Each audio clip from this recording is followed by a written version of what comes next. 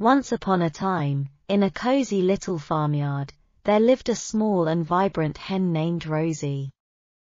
Rosie had beautiful, red feathers that stood out from the rest of the farm animals.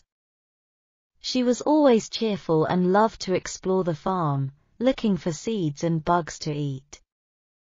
One sunny morning, while Rosie was pecking the ground for breakfast, she discovered some wheat grains scattered near the farmhouse. Excitedly, she clucked and called out to her farmyard friends, Look, everyone! I've found some delicious wheat grains. Who will help me plant them? The lazy dog, the sleepy cat, and the chatty duck were lounging nearby, basking in the warm sun. They lazily opened their eyes and looked at Rosie, but none of them volunteered to help. The dog yawned and said, I'm too busy sleeping, Rosie. Planting seeds sounds like too much work. The cat stretched and replied, I'm too busy grooming myself to bother with planting seeds.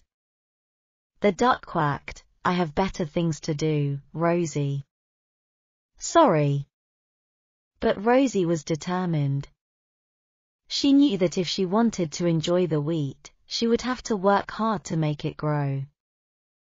So, without any help from her friends, she began to plow the soil, digging small holes with her beak. Afterward, she carefully dropped the wheat grains into the holes and covered them with soil, patting it down gently. Days turned into weeks, and the rain and sun helped the seeds sprout and grow into green stalks.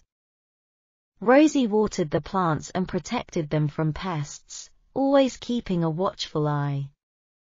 The dog, cat, and duck watched her from afar, but they still didn't offer any help. Finally, the wheat grew tall and golden. It was time for Rosie to harvest the wheat and turn it into flour to make delicious bread.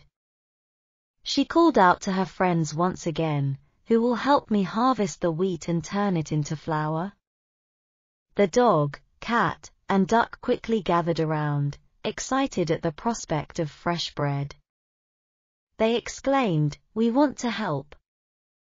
But Rosie, remembering their previous lack of support, shook her head and said, No, my friends. I asked for your help when I planted the seeds, but none of you were willing to lend a hand. Now, I will enjoy the fruits of my labor alone. With a heavy heart, Rosie harvested the wheat and carried it to the farmhouse. She ground the wheat into flour and kneaded the dough, working hard to make the bread.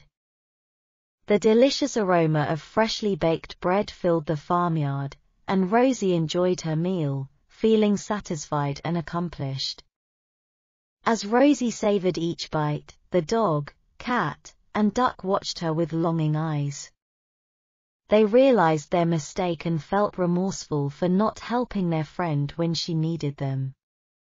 From that day on, they understood the importance of teamwork, cooperation, and hard work.